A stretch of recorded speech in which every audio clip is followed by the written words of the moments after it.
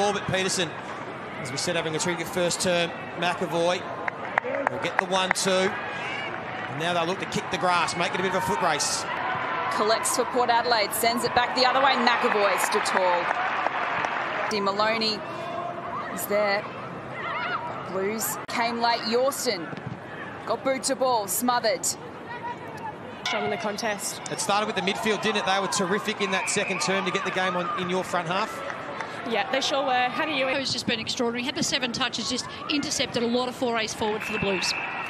O'Day's turned it over to McEvoy. Follows up with the tackle. McEvoy has to get around Mules. It's off Surman. And passes to McEvoy. Needs to find a target. Looking for McWilliams. Pushing the back.